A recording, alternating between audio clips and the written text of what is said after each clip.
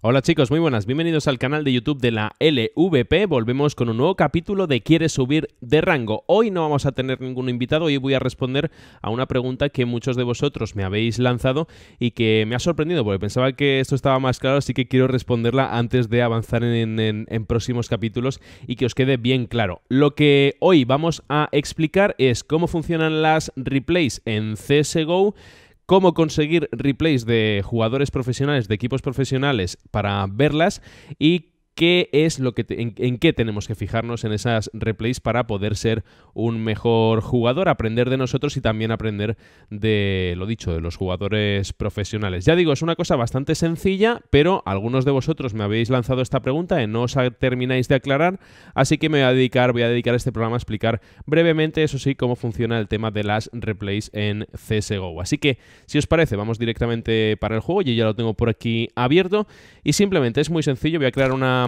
una, partida para que, para que veáis, una partida offline con, eh, con bots simplemente para que veáis cómo se hace. Lo primero que tendréis que hacer, por supuesto, es tener eh, la consola activada. Eso sí, recordad la consola donde metemos los comandos. Si todavía no sabéis muy bien cómo funciona, aquí mismo en el canal tenéis el programa CSGO por donde empiezo, donde expliqué cómo funcionaba el tema de activar la consola en CSGO. Así que si no lo sabéis, no os preocupéis, es muy sencillito, pero bueno, yo ya tengo por aquí activada mi consola, voy a contar que vosotros también la tenéis eh, lista y preparada. Pues es muy sencillo, estamos en la partida, imaginaos que esto fuese una partida competitiva, una partida que yo quiero grabar y evidentemente lo que tampoco quiero es si mi PC está un poco mal, pues no quiero que se me ralentice. Entonces para grabar una partida simplemente abro la consola y escribo el comando record y pongo eh, un nombre que quiera, ¿no? Nombre de la demo, por ejemplo. Así que tal cual, le doy aquí. Eh, le llamamos demo a las replays, pues bueno, le llaman, lo llama así el juego. Veis que es una extensión .dem Así que en este momento pues se estaría grabando la partida. Simplemente jugáis vuestra partida, hacéis lo que tengáis que hacer y después, a la hora de terminar, cuando ya hayáis terminado el encuentro y querráis parar la demo, yo os recomiendo parar la demo por si acaso porque puede dar algún fallo, puede dar algún problemita si, si no la paráis, pero bueno, creo que se para igualmente, pero aún así yo recomiendo siempre escribir stop al final del partido y veis que ahí se completa la demo, ¿veis? Y ya está, simplemente pues ha grabado aquí pues 35 segundos de tiempo. Tan sencillo como eso, el comando primero record para empezar a grabar y después de record escribimos un nombre. Eso sí, en el nombre no puede haber espacios, recordadlo, si queréis poner un, espacio pues usáis un guion bajo entre las palabras y después cuando terminamos pues escribimos stop y punto. No hay más, eh, no hay más eh, misterio, así de, así de fácil y sencillo. Esta es una demo y como es eh, sin bots y tal, puede dar algún bug, alguna cosa, así que para explicaros cómo funciona la reproducción ya me he bajado una replay para poderoslo explicar fácilmente. Antes sí que había comandos directamente para reproducir, ahora tenemos una interfaz, una ventanita muy buena que es, escribimos aquí en el comando demo UI, así, demo UI, como suena, ya lo veis, y veis que se nos abre esta ventanita aquí a la izquierda. Y tenemos un, eh, un botón de load para cargar la replay que queramos. Por ejemplo, yo voy a cargar esta de aquí, que ya sé que no me va a fallar, pues es una replay normal, Titan contra NIP, Así que simplemente le damos y le damos a play para que nos cargue la partida.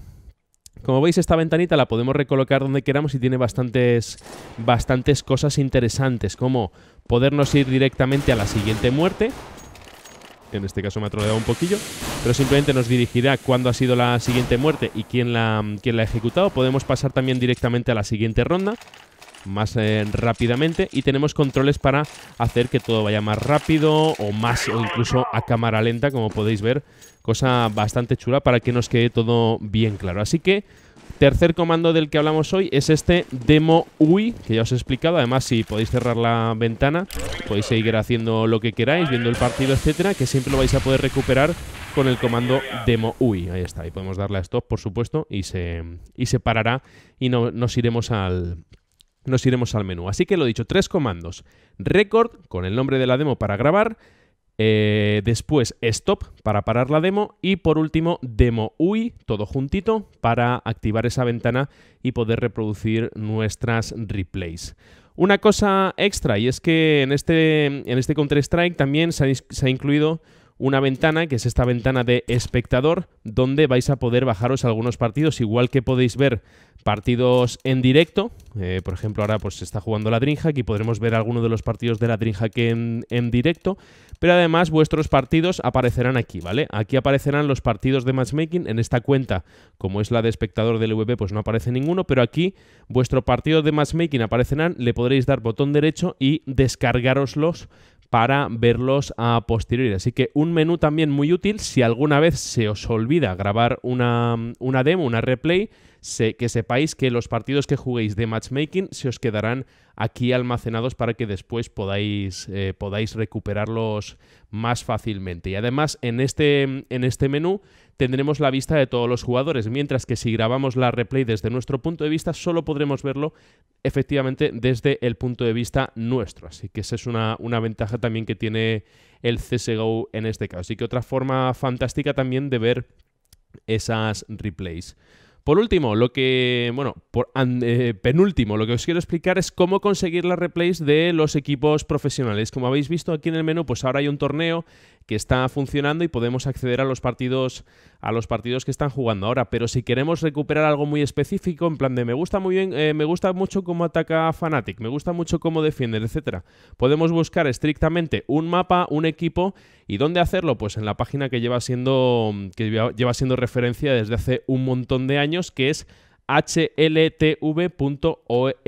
Os lo voy a enseñar a continuación para que veáis cómo funciona hltv.org. Es muy sencillito, vamos a entrar en la web, vamos a poder filtrar y nos vamos a bajar un archivo para poder verlo a posteriori. Vamos para allá. Bueno, pues aquí estoy en hltv.org.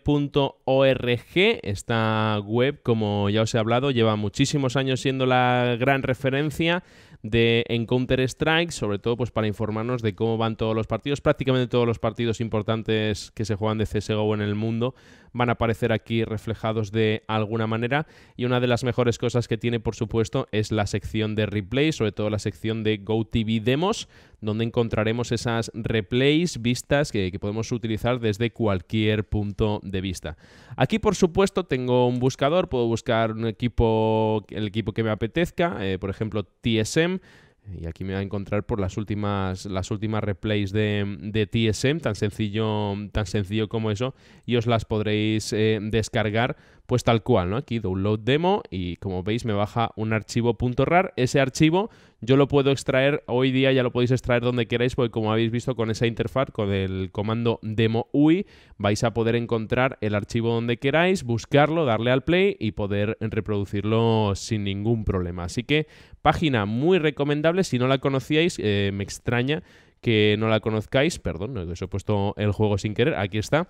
Eh, página muy recomendable como os decía y aquí en replays, por supuesto, tendremos pues las últimas replays, las más famosas, podremos clasificar, podemos buscar solamente pues un tipo de mm, mapa, por ejemplo, solo quiero ver eh, DUS 2, solo quiero ver eh, un evento, ¿no? En particular para fijarme en cómo está el meta últimamente, no solo, no solo a los equipos, así que página más que recomendable para obtener esas replays de los, de los equipos profesionales y fijarnos muy bien en lo, que, en lo que hacen ellos. Por último, lo que os quería explicar muy brevemente es qué hay que ver, qué es lo que tenéis que buscar en esas replays, tanto las vuestras como las de los jugadores profesionales. En las vuestras os voy a recomendar sobre todo que no os fijéis demasiado ni en vuestra puntería, ni en cómo de bien os salen las rondas, ni en lo bien que lo hace vuestro equipo y demás. Eh, tenemos que fijarnos mucho en la toma de decisiones. Tened en cuenta que cuando vemos una replay conocemos evidentemente nuestro punto de vista, pero también vamos a saber dónde están situados los contrarios. Eh, para ello, entonces, cuando veamos nuestra replay, vamos a fijarnos muy bien en las tomas de decisiones que hacemos. Si hemos decidido entrar por un sitio y nos hemos dado cuenta que nos fijamos ahora que los contrarios habían hecho el apoyo al revés, eso es muy, muy importante y es lo más importante, me atrevería a decir, eh, para mirar en una replay, es vuestras tomas de decisiones. No tanto, ya digo, si una táctica ha salido bien, si ha salido mal, porque cada partido es distinto y es muy difícil de analizar. Es cuando vamos a ir a ver las partidas de los profesionales, cuando vamos a ver las de los equipos buenos, digamos, donde sí nos tenemos que fijar qué estrategias están funcionando mejor, dónde encuentran los huecos estos equipos, eh, cómo localizan los puntos débiles, qué jugadores son los que permiten abrir mejor las rondas, qué jugadores son los que más están fallando en defensa, cómo están tirando los humos, cómo hacen los despliegues, todo ese tipo de cosas son los que nos interesa ver en las partidas de los profesionales. Pero ya digo, cuando os dediquéis a ver vuestra replay, no solo miréis por supuesto las que ganáis, sino también sobre todo las que perdéis para ver vuestros fallos, pero ya os digo, recomiendo sobre todo mirar el tema de qué tomas, qué decisiones habéis tomado, cómo han salido esas decisiones y si han servido para algo en el desarrollo de la ronda.